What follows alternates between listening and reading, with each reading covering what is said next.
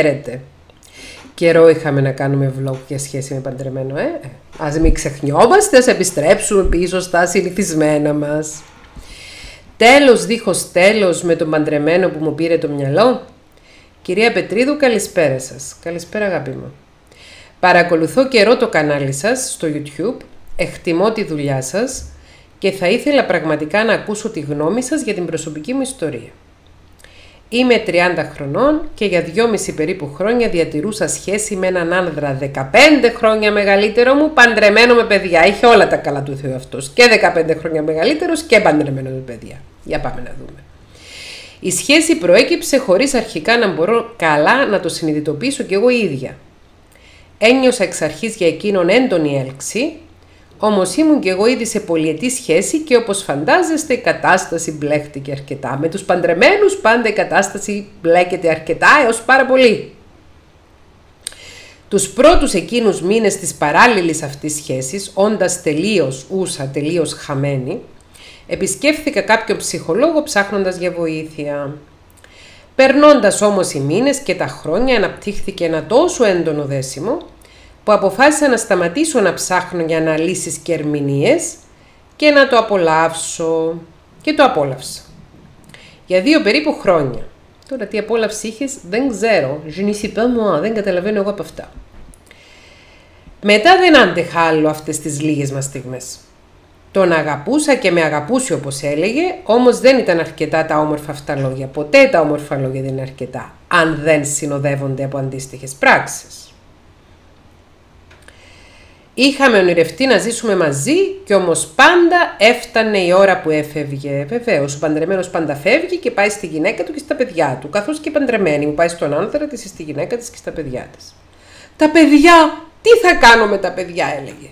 Έτσι είπα τέλο παρόλο που ήξερα ότι δεν θα ήταν τόσο εύκολο και γρήγορο καθώς δουλεύαμε στον ίδιο χώρο, αυτές είναι οι σχέσεις στην εργασία και με παντρεμένους και με παντρεμένες κουτουλουπού κουτουλουπού, τα μπερδέματα της ζωής μας όλης. Μέσα σε όλη αυτή την πίεση, εκείνος παλεύοντας με τους δικούς του δαίμονες αποφασίζει να μιλήσει στη γυναίκα του για εμάς. Α, καλά. Δεν θα ήθελα να σας κουράσω με τετριμένες λεπτομέρειες. Τα έχετε και τα έχουμε όλοι λίγο ή πολύ ακούσει ξανά βεβαίως. Μπλέχτηκα στη μέση παιδιά, οικογένειες και φίλοι. Εκείνος αποφασίζει να μείνει κοντά στα παιδιά του όπως δηλώνει και εγώ μένω να απορώ. Πώς μέσα σε λίγη ώρα αρνείται κάποιος αυτόν που λέει πως αγαπάει; Και αφού τον αρνηθεί πώς μπορεί να συνεχίζει να λέει του τον αγαπάω. Αυτή είναι μια ιστορία παλιότερη και από τον χρόνο. Πάει ο παντρεμένος ή η παντρεμένη και λέει ξέρεις εγώ αγαπάω αλλού και θα χωρίσω. Πέφτουν όλοι πάνω του για τα παιδιά, πέφτουν όλοι πάνω της για τα παιδιά και μένει αυτός ο άνθρωπος. Και μένει αρνούμενος τον ερωτά του, τον ερωτά της. Αλλά πάει στα κρυφά και λέει ξέρεις εγώ ακόμη σε αγαπώ. Τέτοιες μπλε και πράσινες και λιλά. Καθένας αγαπά με το δικό του τρόπο. Γιατί είναι τόσο δύσκολο να αποδεχθεί κανείς στο τέλος κάποιες φορές, γιατί είμαστε κολλημένοι και κολλημένες. Υπάρχει τέλος για ανθρώπους που αγαπιούνται πραγματικά, για ανθρώπους που αγαπιούνται πραγματικά δεν υπάρχει τέλος. Δεν υπάρχει τέλος. Έτσι άμα υπάρξει τέλος, γιατί τέλος έχει μπει στη δικιά σας σχέση, σημαίνει ότι δεν αγαπιόσασταν πραγματικά. Είναι πολλά που δεν σας είπα γιατί δεν θα ήθελα να σας κουράσω. Θα ήθελα πολύ να ακούσω τις σκέψεις σας. Κόρη μου, κόρη μου, κόρη μου, φύγε να γλιτώσεις. Σοβαρά σου μιλώ, φύγε να γλιτώσεις. Φύγε, φύγε, φύγε, φύγε, φύγε να γλιτώσεις. Ξεκόλα. Ξεκόλα, δώσε τέλος σε αυτή τη σχέση με τον παντρεμένο το 15 χρόνια μεγαλύτερο σου με παιδιά. Δώσε τέλος. Δεν είναι φυσιολογικό πράγμα, αγάπη μου. Δεν είναι φυσιολογικό πράγμα να μπαίνουμε σε ερωτικές σχέσεις και να αγαπούμε εντός εισαγωγικών και να αγαπιόμαστε από ανθρώπους οι οποίοι δεν είναι ελεύθεροι. Άμα δεν είσαι ελεύθερος και δεν έχεις δικαίωμα στην αυτοδιάθεση, δεν έχεις σε αυτό να δώσεις.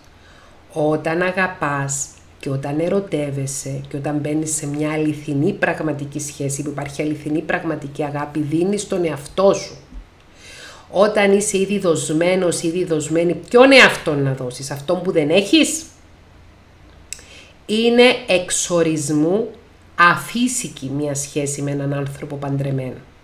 Είτε άνδρας είναι, είτε γυναίκα είναι. Είναι αφύσικη, unnatural. Δεν είναι φυσιολογικό πράγμα. η ερωτική σχέση, όπως την κατανοούμε εμείς στη δικιά μας κοινωνία, όπως την έχουμε μάθει μέσα από την κουλτούρα μας, μέσα από την παράδοση μας, μέσα από τον τρόπο με τον οποίο αντιλαμβανόμαστε τον έρωτα. Είναι μονογαμική. Δεν είναι πολυγαμική. Μονογαμική σχέση σημαίνει ότι εγώ αγαπάω εσένα, εσύ αγαπάς εμένα, εγώ δίνομαι σε σένα και εσύ δίνεσαι σε μένα σε μία μονογαμική σχέση δεν χωράει «Α, είσαι και εσύ παντρεμένος με κάποιον άλλον άνθρωπο και εγώ τα έχω, έχω σχέση με κάποιον άλλον άνθρωπο, αλλά εμείς οι δυο αγαπιόμαστε πάρα πολύ, τόσο πολύ, τόσο πολύ που η αγάπη μας και ο ερωτάς μας είναι πολύ σπουδαίος για να γραφτεί σε παραμύθι, να γραφτεί σε βιβλίο, να γραφτεί δεν ξέρω εγώ σε τι». Δυστυχώς είναι γεμάτη pop κουλτούρα από αναφορές σε αφύσικες σχέσεις, ανθρώπων οι οποίοι δίνουν κομματάκια τους από δύο, δίνουν κομματάκια τους από εκεί, ανθρώπων οι οποίοι δεν αναλαμβάνουν την ευθύνη της αγάπης. Η αγάπη έχει ευθύνη. Είτε πρόκειται για αγάπη φιλική, είτε για αγάπη γονεϊκή, είτε για αγάπη ερωτική. Δεν νοείται αγάπη χωρίς ανάληψη της ευθύνης. Αν σε αγαπώ θα σου δώσω και θα σου δοθώ και θα σε δεχθώ και θα σε αποδεχθώ. Δεν είναι αγάπη το να έρχομαι να ζω ένα ρομάντζο μαζί σου, να έρχομαι να ζω μαζί σου μια παράνομη σχέση, να περνάω έντονες, παθιασμένες ερωτικές σεξουαλικές στιγμές και μετά να επιστρέφω στη βάση μου. Να επιστρέφω στην ασφαλειά μου, να επιστρέφω εκεί που κοροϊδεύω και άλλους ανθρώπους, γιατί κοροϊδεύω και τη γυναίκα μου, κοροϊδεύω και τα παιδιά μου και τον άνδρα μου και τα παιδιά μου. Ένας παντρεμένος άντρας, μια παντρεμένη γυναίκα δεν μπορεί να αγαπήσει έναν άλλον άνθρωπο. Δεν μπορεί. Αν αγαπήσεις πραγματικά έναν άλλον άνθρωπο, θα του δοθείς ολοκληρωτικά. Πώς μπορείς να δοθείς ολοκληρωτικά όταν είσαι ήδη δοσμένος αλλού; Επαναλαμβάνω συνέχεια τα ίδια. Το ξέρω ότι έχω γίνει γραφική σε αυτό το βίντεο, ότι επαναλαμβάνω και επαναλαμβάνω και επαναλαμβάνω συνέχεια τα ίδια γιατί είναι κοινός τόπος αυτά τα πράγματα και οφείλουμε να τα πιστέψουμε. Οφείλουμε να τα αντιληφθούμε. Οφείλουμε να πούμε όχι στην πλήση εγκεφάλου που γίνεται από τον κάθε κρετίνο, είτε άνδρας είναι είτε γυναίκα, ο οποίος η οποία θέλει, θέλει να έχει και τον άνδρα του και τη γυναίκα της και τον άνδρα της και τη γυναίκα του και, το, και τον εραστή και την ερωμένη. Έγινονται αυτά τα πράγματα δεν χωράνε. Δεν χωράνε. Δεν είναι έτσι φτιαγμένοι. Το ρομαντικό αφήγημα των ερωτικών σχέσεων στην εποχή μας δεν είναι έτσι φτιαγμένο. Δεν είναι έτσι φτιαγμένο. Δεν μπορείς, δεν μπορείς να υποστηρίξεις μια ερωτική αγάπη αν δεν είσαι εκεί 100%. Θα μου πείτε, μα όλες οι ερωτικές αγάπες είναι οι άνθρωποι 100% και είναι συνέχεια εκεί και είναι πραγματικά αγαπημένοι και όχι. Όχι. Με σοβέζικες σχέσεις και ψεύτικες σχέσεις και αφύσικες σχέσεις και σχέσεις συναισθηματικής και σεξουαλικής εκμετάλλευσης έχουμε πάρα πολλές γύρω μας. Ναι. Πόσοι δεν έχουν κόμενες για να ξεχαρμανιάζουν μόνο; Πόσες δεν έχουν κόμενους για να ξεχαρμανιάζουν μόνο; Σεξουαλική εκμετάλλευση. Ναι. Θέλω να ξεδίδω σεξουαλικά και ερωτικά, φτιάχνω μια φαντασίωση ερωτικής αγάπης, την πουλάω στο πρόσωπο που στοχεύω, γιατί είπαμε πολλές φορές ότι αν είναι ερωτευμένος μαζί μας ο άλλος, ερωτευμένη μαζί μας η άλλη, θα κάνει καλύτερο σεξ. Θα είναι πιο παθιασμένο, θα είναι πιο ερωτικό αυτό το πρόσωπο. Οπότε επειδή εγώ θέλω την πλήρη εμπειρία, θέλω έτσι να νιώσω ότι με ποθεί κάποιος, πεθαίνει για μένα, καίγεται, πουλάω αγάπες και έρωτες, πουλάω φαντασιώσεις για να έχω αυτό το ωραίο, αυτό το συνέστημα το καλό, να το πάρω δωρεάν όμως, χωρίς να δοθώ, χωρίς να αναλάβω ευθύνες και υποχρεώσεις. Και οι ευθύνες και υποχρεώσεις που αναλαμβάνει σε μια αληθινή ερωτική σχέση δεν είναι μόνο οικονομικές. Δεν είναι μόνο πρακτικές, είναι και συναισθηματικές, είναι και ψυχικές, είναι και πνευματικές. Αγαπώ πραγματικά τον άλλον, έτσι προσπαθώ να γίνομαι καλύτερος άνθρωπος για να έχω καλύτερη συμβίωση μαζί του. Αγαπώ πραγματικά τον άλλον, προσπαθώ να γίνομαι καλύτερος άνθρωπος για να σέβομαι τις διαφορές μας και να γίνομαι πιο επικοινωνιακός, πιο αγαπητικός, πιο συνδετικός. Αυτές είναι οι ευθύνες και οι υποχρεώσεις που αναλαμβάνεις όταν αγαπάς πραγματικά. Τα λέω να λαμβάνει την ευθύνη να δίνει λεφτά στον άλλον ή να τον ταΐζεις και να τον ποτίζεις. Δεν είναι αυτό που εννοώ. Αναλαμβάνεις την πνευματική και συναισθηματική ευθύνη να συνδεθείς ουσιαστικά με τον άλλο άνθρωπο. Ενώ σε τέτοιες σχέσεις με παντρεμένους και παντρεμένες έχουμε να ασχολούμαστε και να, πότε θα χωρίσει η, τούλα, η σούλα, η μούλα, ή οποιαδήποτε, ο τούλης, ο σούλης, ο, ο, πότε θα χωρίσει ο άλλος και αν θα χωρίσει και αν τον κακοποιεί η γυναίκα του και αν την κακοποιεί ο άντρας της και αν είναι έτσι και αν είναι αλλιώς. Και δεν ασχολούμαστε με την ουσία των σχέσεων, που η ουσία των ερωτικών σχέσεων είναι η συνδεσιμότητα και ο πνευματικός αγώνας στο να συνδεθούμε ουσιαστικά και να γίνουμε καλύτεροι άνθρωποι μέσα από την ερωτική πράξη και μέσα από την ερωτική βιωτή και δεν μιλάω μόνο για την ερωτική πράξη, μιλάω και για την αγαπητικότητα και την συνδεσιμότητα.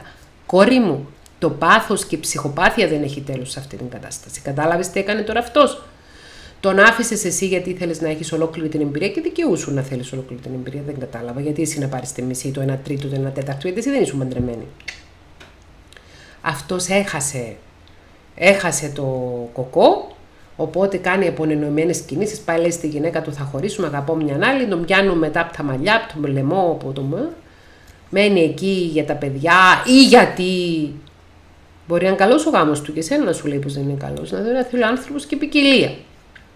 Και μετά έρχεται και σε κρατάει και σένα εκεί πέρα κρεμασμένη και σου λέει: Σε αγαπάω, σε αγαπάω. Τα έχει όλα πάλι. Πόσες φορές δεν έχω δει τέτοιες ιστορίες που μαθαίνετε ότι υπάρχει μια παράνομη σχέση, μια εξωσυζυγική σχέση, μια παράλληλη σχέση και καλά αυτός που απατάει, αυτή που απατάει ζητάει συγγνώμη και μετανιώνει και δεν θα πάει πίσω στον εραστή, στην ερωμένη, δεν ξέρω εγώ πού. Και μετά όταν όλοι ρεμούν και λένε αχ τι καλά ήρθε πίσω η γυναίκα μας, ήρθε πίσω ο άντρας μας, πάνε και βρίσκουν και τον άλλον και την άλλη και ξαναστείνουν το εργάκι. Εγώ δεν ξέρω, νομίζω δεν θα, ξέρω, δεν θα συγχωρούσα συζυγική απιστία, νομίζω δηλαδή. Μην λέω μεγάλες κουβέντες, αλλά νομίζω ότι θα τη συγχωρούσα γιατί για να φτάσει ο άλλος στο σημείο να φτιάξει μια συζυγική απιστία σημαίνει ότι είναι άπιστο. Και σημαίνει ότι δεν, δεν αντιμετωπίζει τα προβλήματα του όταν αυτά πραγματικά συμβαίνουν και σημαίνει ότι τα ρίχνει πάνω σε άλλους. Και δεν αναλαμβάνει την ευθύνη. Οπότε, άμα το έχει κάνει μια φορά, θα το κάνει και δύο και τρεις και τέσσερις και πέντε. Λέμε τώρα. Αγάπη μου, στο χέρι σου είναι να έχει τέλος αυτή η μεσοβέζικη και αφύσικη εντός εισαγωγικών αγάπη. Έχουμε πάρα πολλά βίντεο για σχέσεις με παντρεμένους. Έχουμε playlist σχέση με παντρεμένο, με παντρεμένους. Για την απιστία δέστα. Δέστα. Δεν είναι αγάπη. Κατά τη γνώμη μου πάντα.